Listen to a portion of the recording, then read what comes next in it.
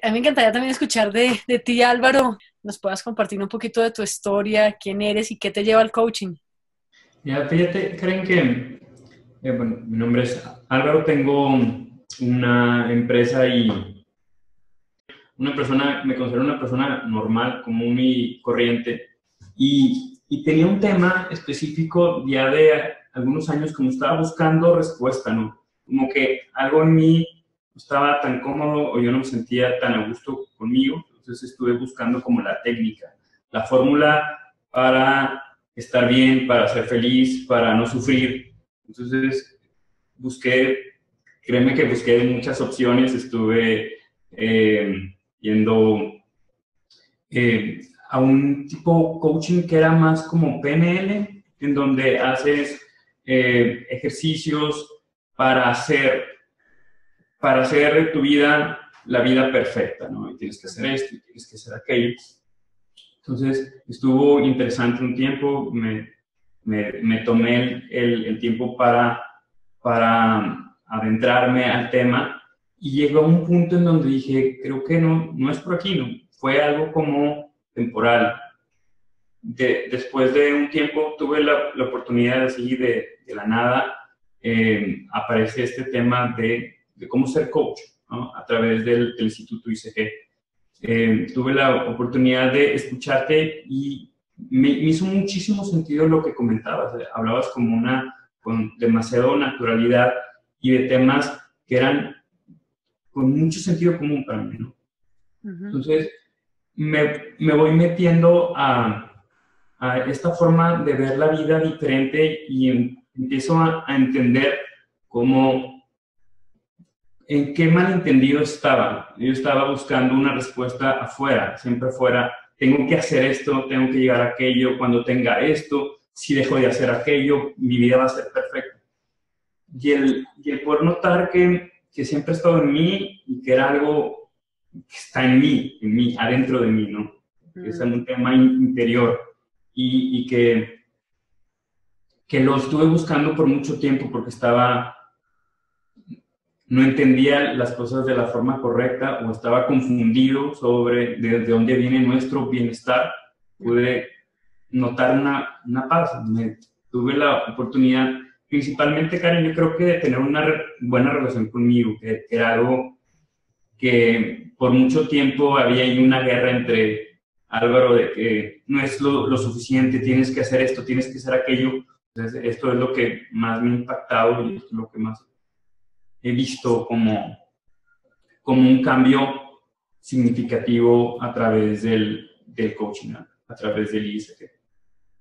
Deja mucha tranquilidad y deja mucha certeza de cómo puedes vivir tu vida. ¿no? Wow.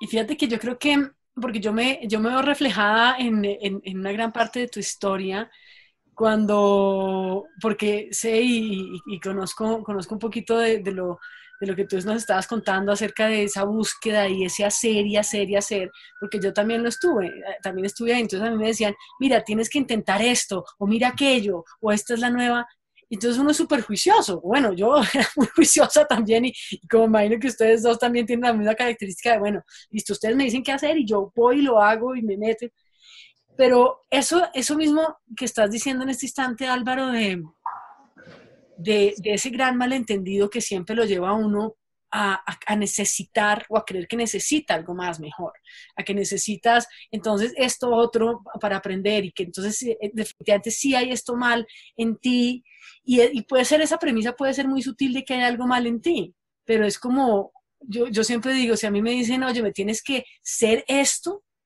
la, la premisa implícita es que no lo eres, porque mm. si no, ¿por qué necesitarías ser esto otro? Y, y, uno sin darse cuenta, eso es, eso es desgastante. Uno llega a un punto en que está como con todos los manuales de todos los puntos de lo que tiene que hacer y tiene tanto ruido de, ¿será que hice esto? No estoy siendo acá. ¿Quién necesito ser? Y uno no se da cuenta que eso que está buscando tan desesperadamente para ayudarse a sí mismo, lo llena más de ruido, más de agotamiento y al final del día lo deja uno yo creo que más confundido. Si, si, esa, si fue así algo tu experiencia en ese sentido. Completamente. Y, y, ¿sabes qué pasa, Karen? Que yo siento que todo nuestro entorno te vende un ser. O sea, todo lo que tenemos externo ya sea el, producto, el carro, la casa, la esposa, todo te vende el que tienes que ser algo, ¿no? Y que, que la felicidad está afuera, ve a, a buscarla. Entonces, son, son temas que son tan del día a día, de todos los días, estamos como saturados y bombardeando por esta, estos malos entendidos que te dicen, tu bienestar está afuera.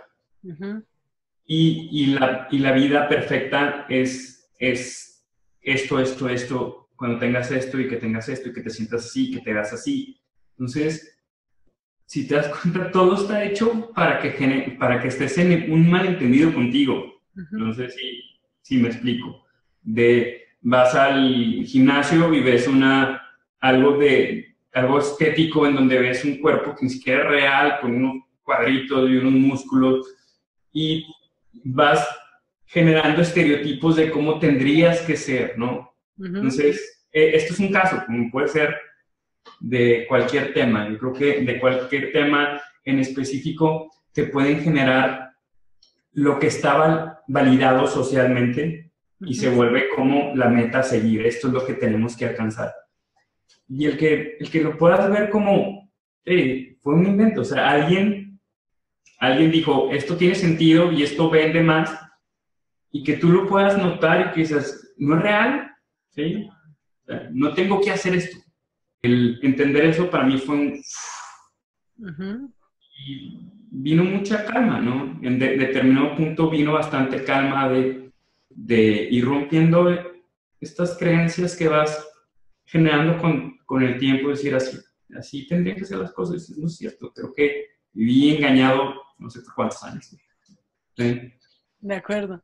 Fíjate que es una paradoja muy grande porque para mí la paradoja es, como un mensaje súper contradictorio. ¿Y a qué me refiero con esto? Y es que el ser humano tiene unas capacidades innatas espectaculares, o sea, el hecho de que uno pueda apreciar creatividad, innovación, pasión, eso, eso no viene de una característica especial que tengan unos pocos, eso es algo innato del ser humano.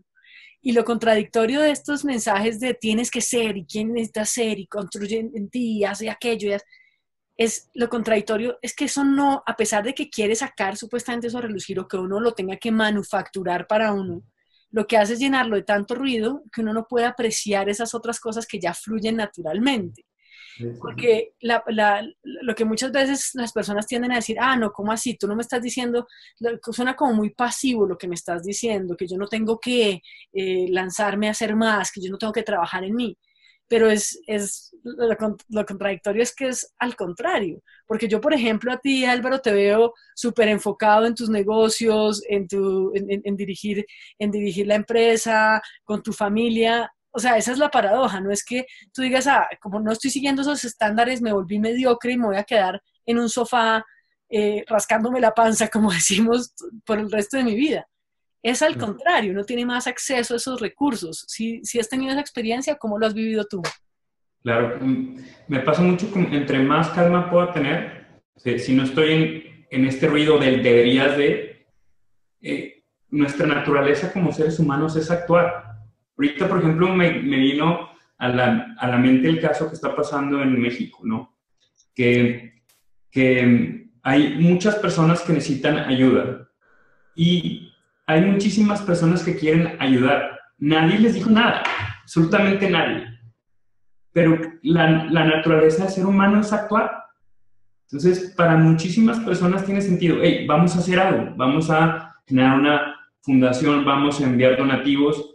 Y nadie les tuvo que decir absolutamente nada. Ya está dentro de nosotros esta esencia de acción o esta esencia de amor, que a mí sí me es un acto de amor total. ¿no? Sí, de acuerdo, de acuerdo totalmente. Fíjate que lo que tú dices es súper válido.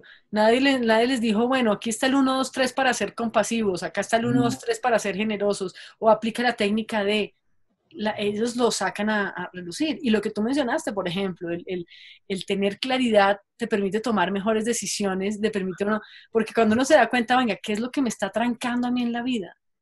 Es que uno tiene una serie de concepciones que ese tipo de técnicas lo que hacen es decir, ah, sí, sí, sí, todas esas concepciones que tienes en la cabeza son ciertas. Entonces ahora trabájalas, pero ya te las hicieron ciertas. Entonces es como uno, uno termina en un círculo de siempre, siempre, siempre necesitar. el, trabajar de esa forma en uno mismo. Entonces me, encanta eso que, que compartes, Álvaro, gracias.